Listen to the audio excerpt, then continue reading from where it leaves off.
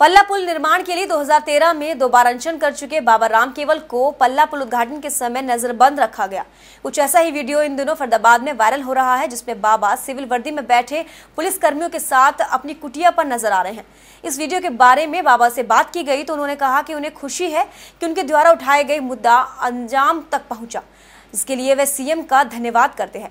मगर ये भी सच है कि उन्हें उद्घाटन के समय कुछ पुलिस कर्मियों ने आकर उन्हीं की कुटिया में कैद कर लिया और उद्घाटन के बाद ही छोड़ा गया। एक तरफ़ भारी भीड़ वाली जनसभा में भाजपा सरकार के नारे लग रहे थे तो दूसरी ओर अनशनकारी बाबा राम केवल नेताजी की दोहरी राजनीति का शिकार हो रहे थे।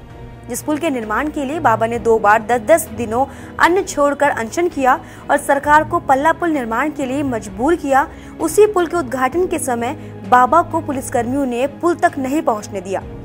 ऐसा क्यों हुआ, इसके बारे में जानते हैं बाबा से। केंद्रीय मंत्री ने उद्घाटन किया पुल का, और मैं बहुत आभारी हूँ मुख्यमंत्री जी का, जिन्होंने इस पुल को पास किया, और हरियाणा सरकार ने एक तोहफे के रूप में, एक जीवन रेखा के रूप में इस क्षेत्र को पल्ला पुल दिया। मैं बहुत खुश हूँ।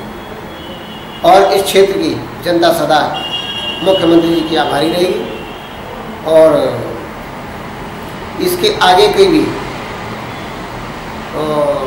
जो भी पल्ला पुल से जो भी चीज़ें संबंधित हैं जो भी सुविधाएँ हैं मैं उम्मीद करता हूँ कि मुख्यमंत्री जी हमारे ऊपर ऐसे ही आभार बना के रखेंगे ऐसे ही आ, हमारे ऊपर आशीर्वाद बना के रखेंगे क्षेत्र के। और इस क्षेत्र की जनता के सुख सुविधाओं का ध्यान रखेंगे। 2013 में बहुत बड़ी मुहिम छिड़ी थी आपने पल्ला पुल पर अनशन किया था। बहुत लंबा चला था वो आपका आंदोलन। तो चार साल के बाद सुध ली है तो क्या कहेंगे इस समय जो व्यतीत हुआ है हाँ ये तो ये तो अपना कर्तव्य है। और कर्तव्य के अनुरूप ही जो मेरा अपना कर्तव्य था वो मैंने अपना कर्तव्य निभाया। चाहे मुझे पहली बार नौ दिन भूख हड़ताल करनी पड़ी और दूसरी बार मुझे बारह दिन भूख हड़ताल करनी पड़ी जीप छेदन भी किया, मौन भी रहा और उसके बाद तमाम कठिनाइयाँ भी झेलनी पड़ी और आज तक भी, जब तक पुल का उद्घाटन नहीं हुआ, तब तक भी झेलनी पड़ी। तो इसकी कोई परवाह नहीं है, ये अपना कर्तव्य है और अपने दायित्व का मैं निर्वहन सच्चे और पूर्ण रूप से करूँगा।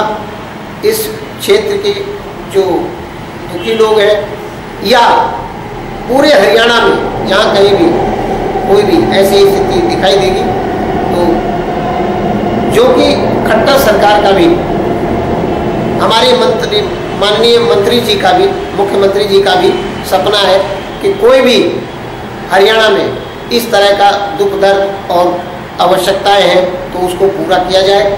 और जो उन्हें ना पता चले तो वो समाज सेवी, उनका, उनको आगाह करें, उनको बताएँ, ताकि वो पूरा कर सकें। मैं आभारी हूँ, हरियाणा सरकार का।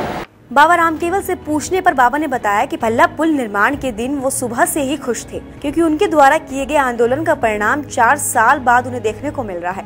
वो भी इस खुशी में शरीक होना चाहते थे, मगर करीब तीन बजे कुछ पुलिसकर्मियों ने उनकी कुटिया पर दस्तक दी। और उन्हें पकड़ कर बिठा लिया। कहीं आने और जाने की इजाज़त भी नहीं दी। ऐसा क्यों किया और किसने करवाया, उसके बारे में बाबा ने कुछ न कहते हुए कहा कि वो हरियाणा के मुख्यमंत्री मनोहर लाल का धन्यवाद करते हैं।